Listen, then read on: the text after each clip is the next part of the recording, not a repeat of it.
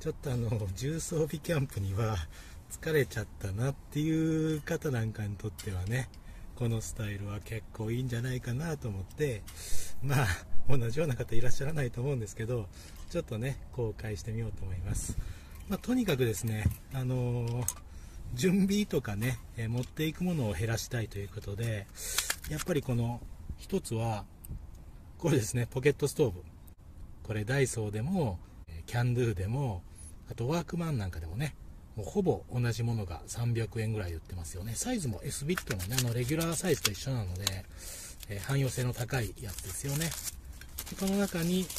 えーこのパック燃料がねぴったり入るので前の動画でも紹介したんですけどね。えーもう要はこれだけこのポケットティッシュサイズって言っていいと思うんですけどこれさえ持っていけばその湯が沸かせる、ねえー外出して外で、まあ、お茶沸かしたりね紅茶とかコーヒーとかができる。っていうこの手軽さっていうか手抜きさというか 何て言うんでしょうね、まあ、言い方次第なんですけど、まあこれがね、あのー今とっても私にとっては、えー全くその負担にならないのでいいなと思って、えーこういうスタイルがね気に入って、えちょくちょくね、あの近くのね、え公園とか、まあ、なんかね山とか景色のいいとこに出かけてはこのスタイルをやってる感じになります。ちょっとねあの脱線しちゃうかもしれないんですけどあこの網はねないとねなんかこう大きいクッカー持ってきたじゃないとね、えー気持ち悪いのでさっきダイソーでねこれ買ってきたんですけど、えーチキンラーメンミーってやつですね。3個入って100円だと思いますけど、まあ、こんなのね、えー沸かして飲んだりとか、まあ、ささっとできるしねあの本当に気軽なので、えーおすすめなんですね。はい。まあ、あのあくまで重装備のキャンプじゃないとね面白くないなとかやっぱりこう眺めのいいね、え場所でね、え最高の朝を迎えたいなとかいうことはもちろんね私も思いますしね、えーそれを否定するつもりは全くないんですけど、えーちょこちょこっと行ってやりたいなとかいう時はねあのこのスタイルが一番、まあ、短時間でもできるしあ今日天気いいからちょっとどっか行ってやってみようぐらいのね思いつきでできるので、え個人的にはねすごく気に入ってます。あそうそう、えーと脱線ついでにね、え最近この S ビットのねミディアムが、え動画でもちょくちょく出てくると思うんですけど、えなんでこれ出すかっていうとですね、えーこのパック燃料ですね3個入りで100円なんです、えーちょっと出してますけどこういうねパック燃料。これ3個入って、えー110円かな、あのーセリアとか。あちこちキャンドゥでもね売ってると思うんですけどその3個入りがですねこちらのやつだと2個しか入らないんです。2個はぴったり入るんですけど1個だけ余るのでその余った1個をまたこっちに戻してねどっかにしまっとくっていうのが個人的に苦手なもんでそれどうしてもねこの S ビットのミディアムを出すことが多いんですね。これはですねもう見たら分かるんですけどこんな風に、えー3つですね。3つ入るんです。えーあとね、まあ、もともとついてる風防とか入ってますけど、だからね、3つ入るもんで、買ってきたパックをそのままザバッとこっちに移して、ね、で、こういう風に、ね、ぴったりと収まるんですよね。もんですからね、こっちをね、ついつい使っちゃうんですけど、まあ、コンパクトさではね、やっぱり、レギュラーサイズの方、あのー100均でも売ってる方、やの方がね、いいので、えーそれでいいんじゃないかなと思ってます。はい、あとね、今日試したいんですけど、これ1個あたりね、20分っていうことをね、パッケージに書いてるんですけど、今まで20分はね、持ったことがないんです。まあ15分弱かなという気がするんで、で、これね、えーちょっとやっちゃいけないのかもしれないんですけど、2つこう置いて、で、最初から2つでね、火をつけたら、えーそのまま2つ分ちゃんと綺麗に燃えてくれるのかなというところがねちょっと知りたかったんでそういう実験をね今日はやってみようと思います。ということで、えーちょっとね、え特殊なやり方なんで真似はしないでくださいね。じゃあ2個置いてますけど、えその上側の方ねに1個つけていこうと思います。わ火がつきにくい。きました。なんかねこのパック燃料は端っこにつけてくださいと。今私つけましたけどね。こんな風なね端っこにつけるのが正しいそうです。はい、えー、ということで今端っこに置きました。つけました。向こう側がね今燃えてます。で、えー、これいいのかどうか分かりません。こういうやり方ね。はい、えー、幸いこのあの台はねもうあの分厚い鉄板。バーベキュー用の鉄板をね切り出して作ったものなんであの全然ね熱には耐えますので大丈夫なんですけどね、えー、こういう形でちょっと今日は、え長い時間持つのか。今ね15時10分。お昼過ぎのね3時10分なのでここからやってみたいと思います。ということで、えー、まずはね、えー、湯を沸かしていきましょう。風が吹いてるせいかな。ちょっと危険なので関係ないものを遠ざけときます。よいしょ。これねあのメタノール要はメチルアルコール系のね燃料ってね炎の色がはっきり見えないので、えー、結構ねどこまで、え燃え広がってるのか見えないので危険ですよね。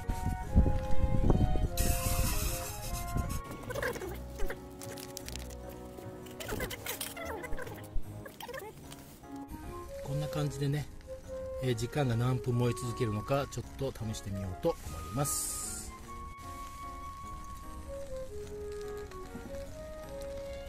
じでね。今一応1個目？上の方だけ？なんか無事に燃えてるかな。いやよく見るとねなんか2個目も燃えてる気がしますね。だからほぼ2個同時に燃えてるような感じに見えます。こっちから見たらよくわかるんじゃないかな。こういう感じですね。あんま見えないね。ちょっとね炎が見えないので危険なのでね遠目に撮っております。はい。こんな感じで、えー、まあ2個同時に燃えちゃうとね燃焼時間が え、短くなっちゃうと思うんですけどまあ仕方ないですね、えー、こんな感じでやってみようと思います。今ねちょうどまだ3分しか経ってないんですけどもう結構ね沸いてるんじゃないかなっていう雰囲気なのでちょっと開けてみます。あそうですね、えー、ちょっとお見せするとこんな感じ。ちっちゃいね気泡が鍋底にできてプツプツと。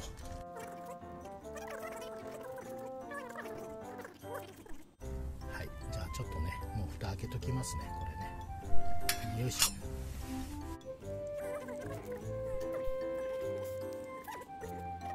食べてから後でお茶でもいただこうかな。これですねチキンラーメンミニ。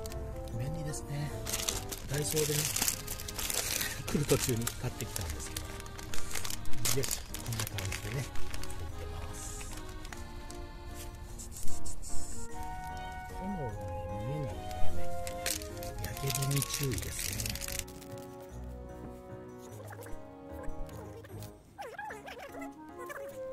今ねまだ6分しか経ってないのでそれは全然、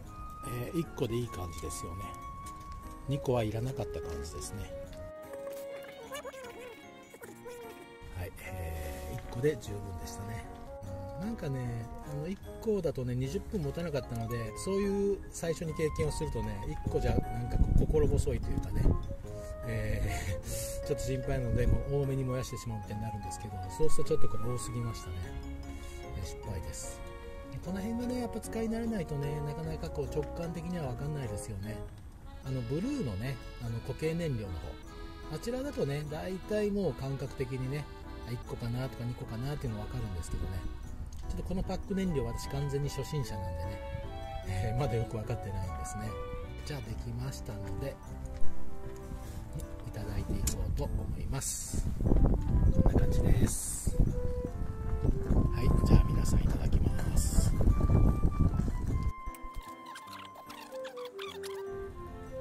どうなんだろう。あと5分ぐらい持つのかなっていう感じ。でちょっとね、えー、火力もったいないので。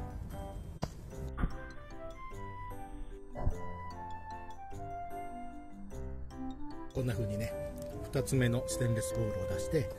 えー、今お湯をね沸かしているところです。いいですね。気持ちいいですね。やっぱね外に来るとね、えー、12月のね、えー、もう下旬ですね。ああっという間の1年間ですね。でね、えー、今日あったかいんでね多分10度あると思います。えーと、この時間でもね全然、あの平気な感じなんですけどやっぱね庭でやるのと違ってあの特別ねなんか眺めのいい場所でもないしキャンプ場とはやっぱ比較にならないんですけどね。だそれでもこう広々した河原でねいただくラーメンはあのもう絶品ですね。ただのラーメンなんですけどね。本当に美味しいなって思います。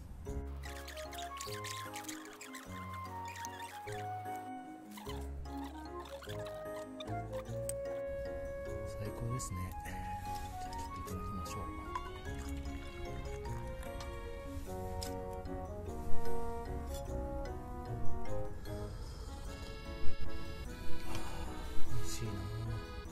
もうねほぼほぼ消えかけてますね今。まだね微妙についてるんですけど多分カメラで映らないぐらいのねちっちゃい炎がついてるんですけど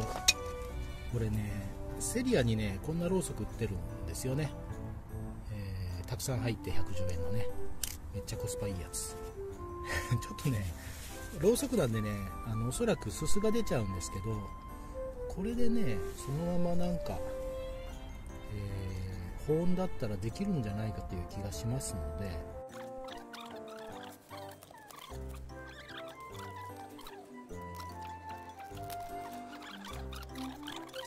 えーろうそくでねちょっとやってみようと思います。ろうそく消えちゃうかな？ここ風ちょっと吹いてるしな。何とも言えませんね。あけど消えないね。頑張ってますね。消えませんね。風防でもつけてやった方が本当はいい気がしますけど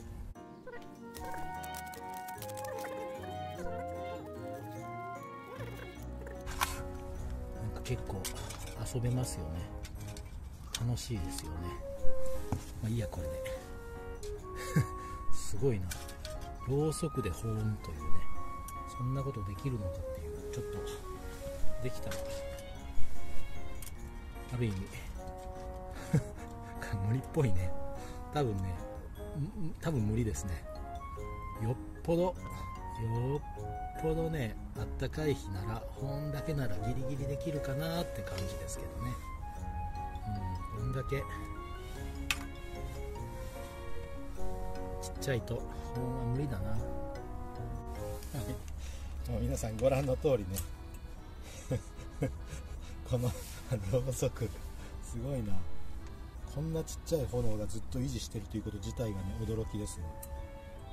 2ミリぐらいしかないですこのろうそく。ここにしてもねほのかに熱を感じるぐらいですからねマッチの方が多分熱いですよ。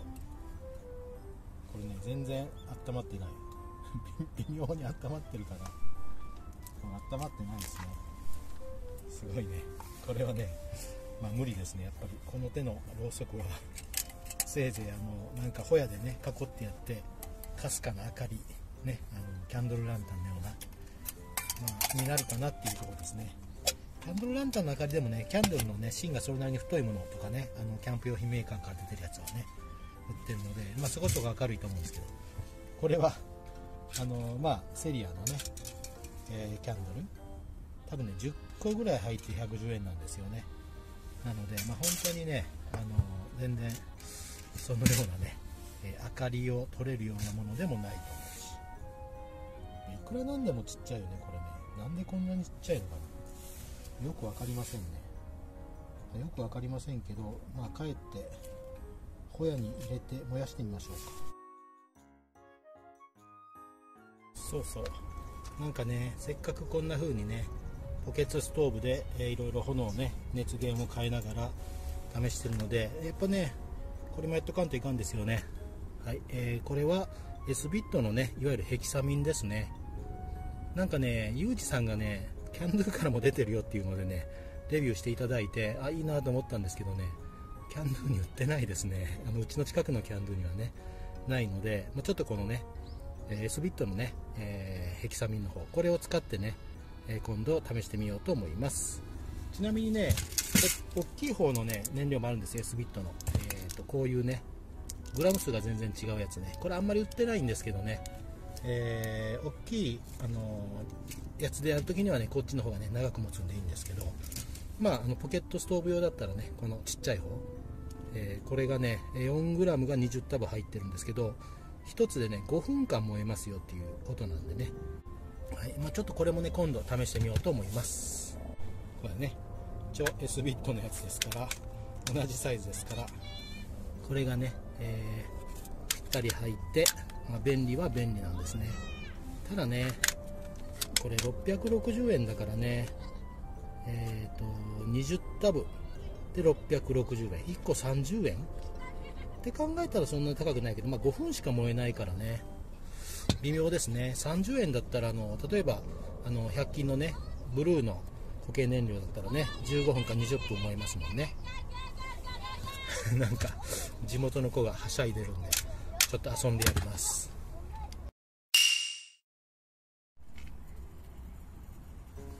はい、えー、ちょっとね地元の子をね遊んでやりました。もう遊べ遊べとうるさいので。なんでしょうね、えー、こういうのもねアウトドアのいいとこですよね。庭で1人でやってたらねもう完全にソロの感じなんでね、えー、もう1人の時間を楽しむんですけどこういうあの誰でもね来れる場所でねやってるとあのよくね遊べ遊べとあの私を見つけた子がね近寄ってきますね。なんでしょうね都会なんでね割とね愛知県もね名古屋ですけどここ比較的ね都会なのでなんとなくこう人と人との距離があってねあんまりこうそういうコミュニティってないんですけどねコミュニケーションってねないんですけどね。なんかこういうキャンプみたいなことして遊んでるとですねちっちゃい子は喜んでやってきますね。そしたらまあ遊んでやった方がね早くあの満足してねどっか行ってくれてこっちも専念できるんで寄ってきたら遊んでやるんですけど。おかげでねもう向こうに行ってくれました。ということであのさっき何話してたか分かんなくなっちゃいましたけどあそうそう。えーと、熱源ねいろいろ試してるのでこちらのね、えー、本家の S ビットのやつですね、えー、こちらも今度ねちょっと使ってやってみようと思います、まあ、ぴったり入るんでね、ま、これは使わない手は本当はないんですよね。ただ660円なんでね100均で売ってないというのがねちょっとね私としてはね、えー、残念なとこなんでまああんまりあのおすすめはしないんですけど、まあ、比較的でね今度撮ってみようと思います。ということでお片付けをして、えー、だいぶ暗くなってきたんでね引き上げる準備をします。いやー気持ちいいですね。やっぱりね外は気持ちいいですよ、えー、この開放感っていうのかな。うん最高ですね。いやー気持ちいいですね。まあ、本当こういうのをね何度かやってるとねそのうちやっぱり重装備でね、えキャンプ行きたいなとかね思うかもしれませんね。っていうか思うでしょうね。はい、まあ、今はねちょっとリハビリ的にねえまだ庭キャンパーの続きでちょこちょこ、えー、外にね出てっていう程度の過ごし方が、まあ、今はね気楽でね楽しめる範囲っていうところです。なんだろう。